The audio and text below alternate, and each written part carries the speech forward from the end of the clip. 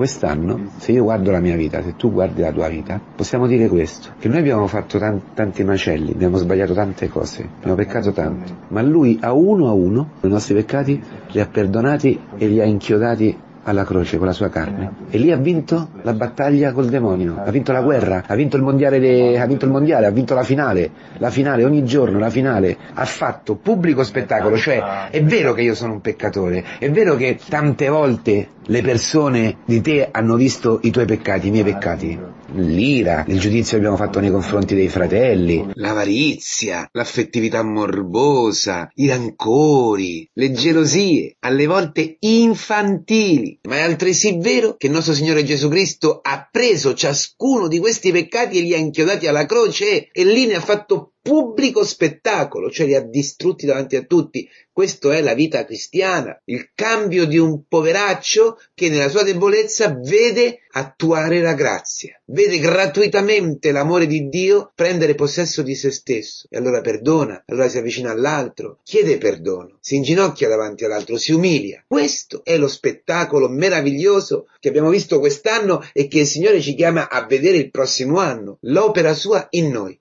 l'opera della parola in noi. Il mondo che fa? A Napoli, non so se ancora oggi, ma io quando ero piccolo andavo a Napoli, i miei parenti, anche a Roma si faceva, eh, prendevano le lavatrici, capito? Le lavatrici le buttavano dal quarto piano. Buttare le cose vecchie come feticci di ciò che nella propria vita, nella propria famiglia si voleva buttare. Allora, siccome arrivo a Capodanno, devo ricominciare. Butto via tutte le cose vecchie. Ma cosa devo buttare via io? Un cristiano non ha da buttare niente. Neanche i peccati più atroci che tu hai compiuto quest'anno. Se io non hai fatto quella stupidaggine con il mio fidanzato o la mia fidanzata, con mio marito, con mia moglie, con chi sia, no? Allora potrei guardare meglio quest'anno. Ma non è vero. Non devi buttare quello. Eri tu, l'hai fatto, l'ho fatto io. La cosa l'ha fatto, l'ha fatto Gesù Cristo lì. Ha dato il suo sangue ha fatto di quella cosa schifosa che tutto il mondo vorrebbe cancellare, tutto il mondo vorrebbe cancellare quella cosa brutta che fa.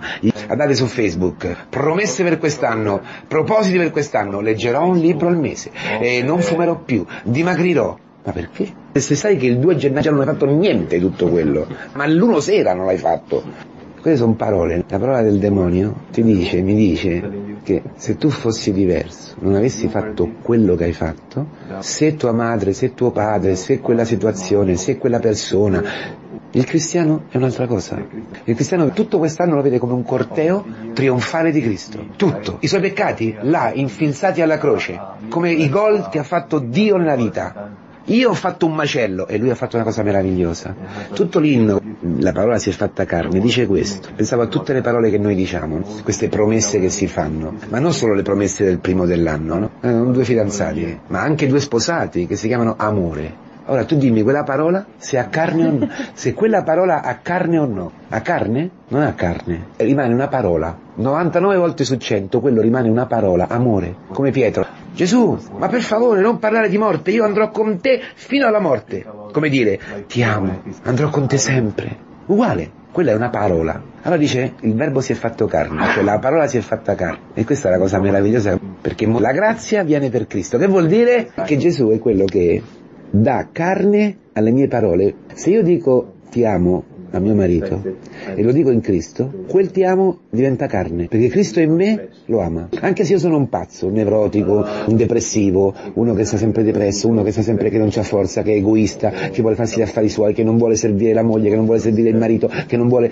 Ti amo. E Dio dice, la parola si è fatta carne. Quel desiderio di amare, che ogni uomo ha, in un fidanzamento normale, tu desideri amare quella persona, nessuno sta perché la odiano. Allora quel desiderio di amare tuo marito, di amare tua moglie, di amare i tuoi figli, se Dio si fa carne, la parola si fa carne, diventa realtà e non te ne accorgi. Per questo è necessario che tu scopri chi sei e poter vedere che a ogni nostro peccato, a ogni nostra parola vana, sapete che c'è anche un comandamento no? che dice non nominare il nome di Dio in vano. Vano vuol dire vuoto, tutto vanità, no? vuol dire tutto fumo.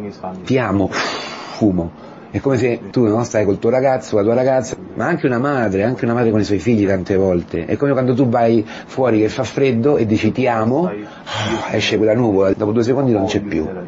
Oppure diventa carne in un altro modo, quel ti amo diventa sesso, diventa possessione, diventa che deve fare quello che dico io, ma quello non c'entra niente con l'amore, no? Allora, se Cristo non viene e non distrugge i miei peccati, non distrugge, non inchioda alla croce i miei peccati, quello rimane parola. Ma se Lui viene dà la vita, mi perdona e fa della mia vita un corteo di trionfo, cioè ogni istante che io non sono stato capace di amare mia moglie, lui l'ha fatto. E io dopo vent'anni ancora sono sposato con quella. Io se guardo quest'anno dico, è stato un corteo trionfale di Gesù. Io accolgo te, Franceschino, Giuseppina, e prometto di esserti fedele sempre, nella salute e nella malattia. Nella malattia significa quando diventi depresso, quando diventi nevrotico, quando non mi sopporti, quando non mi puoi vedere, quando ti cascano i denti. Per favore. Allora al matrimonio noi diciamo una parola vana. Ma Cristo la rende autentica nella sua carne se i due sposi vivono in lui. Ma nel presbiterato è lo stesso. Prometti di essere casto? Sì. Prometti di pregare tutti i giorni? Sì. Prometti di servire i fedeli ogni giorno, a tutte le ore del giorno? Sì. Prometti di obbedire sempre? Sì.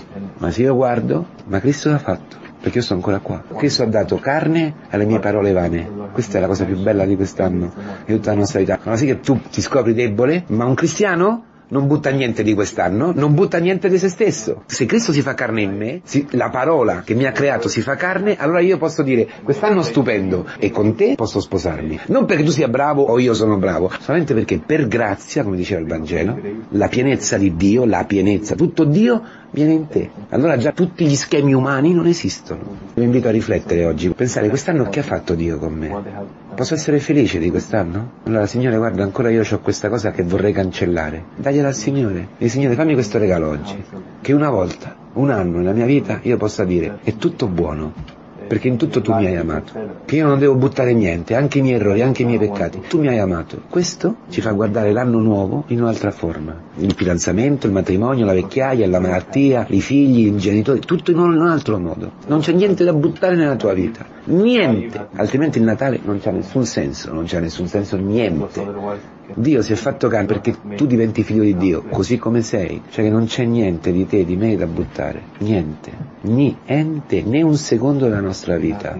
Tutto è santo, perché in tutto si è fatto carne Dio. Eccetto ovviamente il peccato che è venuto a inchiodare sulla croce, a buttarlo via dalla nostra vita, a cancellare quella radice maliziosa che ha innestato in noi il demonio, mostrandoci il suo amore, ha cancellato il peccato mostrando il suo amore per il peccatore, per te così come sei, contestando così la menzogna del demonio che Dio non ci ama. E per questo ho avuto la possibilità di convertirmi, di confessarmi, ho sperimentato il perdono di Dio. Cioè non siamo noi a buttare, a tagliare, ma è Dio che attraverso il suo figlio Gesù Cristo nella Chiesa e attraverso i fatti taglia, butta tutto ciò che di me non appartiene a lui non c'è nessun volontarismo, c'è un desiderio di amare, un desiderio di essere figli che lui rende concreto, che lui realizza.